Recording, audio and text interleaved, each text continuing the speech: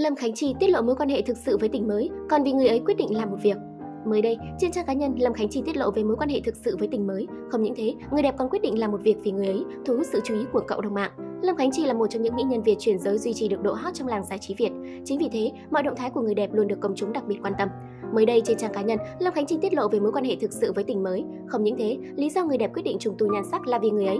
Theo đó, cô cho biết, lần này Khánh Chi làm đẹp cũng vì anh ấy đó. Hiện tại chúng mình đang trong giai đoạn tìm hiểu, mới quen thôi à, trên tình bạn dưới tình yêu, nói chung là sự tiến triển tốt đẹp nhưng cái gì cũng cần có thời gian, bạn trai mình hơi hiền.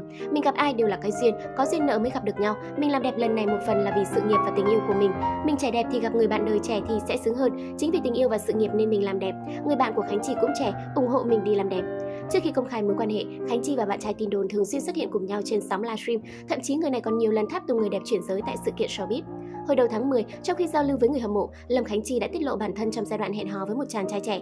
Theo đó, cô chia sẻ với truyền thông, tôi đã có người yêu và cậu ấy tất nhiên là đẹp trai và trẻ hơn tôi. Cậu ấy rất ấm áp và biết cách quan tâm. Tôi đang cố gắng phát triển từ từ mối quan hệ này. Lâm Khánh Chi của hiện tại muốn mọi thứ chậm mà chắc. Cô cũng nói rằng khi tình cảm ổn định và an toàn sẽ công khai. Cô chia sẻ, đã từng đổ vỡ nên giờ điều quan trọng nhất đối với tôi là cảm giác an toàn. Bên cạnh đó, cô cũng khẳng định mình nghiêm túc trong mối quan hệ tình cảm này. Từng có cuộc hôn nhân đổ vỡ sau gần 5 năm vợ chồng, Lâm Khánh Chi cho biết cô luôn có suy nghĩ tích cực về hạnh phúc. Người đẹp sẵn sàng lên xe hoa lần nữa nếu tìm thấy người phù hợp. Theo đó, tiêu chí chọn bạn đời của Lâm Khánh Chi hiện tại là người tốt bụng thật thà và biết suy nghĩ cho tương lai của cả hai. Nữ ca sĩ chia sẻ, tôi luôn nghiêm túc trong tình cảm, khi đã xác định yêu ai, tôi đều muốn đi đến đích cuối cùng là hôn nhân và gia đình. Tôi đủ lớn và chín chắn nên không còn thời gian cho những cuộc tình trong vánh. Cuối năm 2017, Lâm Khánh Chi tổ chức đám cưới với ông xã kém 8 tuổi Trần Phi Hùng. Nữ ca sĩ tiết lộ, cô quyết định chuyển giới để được trở thành con gái thực thụ và được lấy người đàn ông mà mình yêu thương.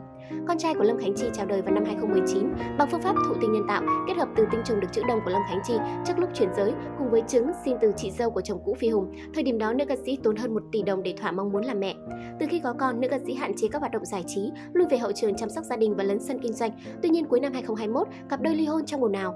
Gần đây Lâm Khánh Chi còn gây chú ý khi đã bỏ hơn 1 tỷ đồng để làm đẹp ở xứ Trung. Trước đó nữ ca sĩ từng nhiều lần can thiệp giao kéo với mong muốn sở hữu vẻ đẹp hoàn mỹ. Người đẹp khá cười mở khi chia sẻ về câu chuyện phẫu thuật thẩm mỹ của bản thân với giới truyền thông.